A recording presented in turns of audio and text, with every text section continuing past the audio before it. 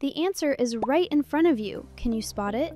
The question says, in the xy plane, a circle has center C at 2, comma minus 1, passes through point P at 5, comma 3.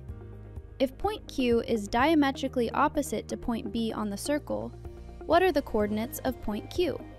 Here we need to understand that Q is diametrically opposite to P. Then the center C is the midpoint of segment PQ. So we use the midpoint formula, which is c is equal to x1 plus x2 by 2 comma y1 plus by y2 upon 2.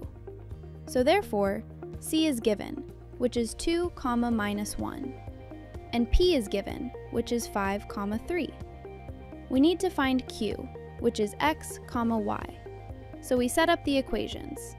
This will be 5 plus x by 2 is equal to 2, and 3 plus y by 2 is equal to minus 1.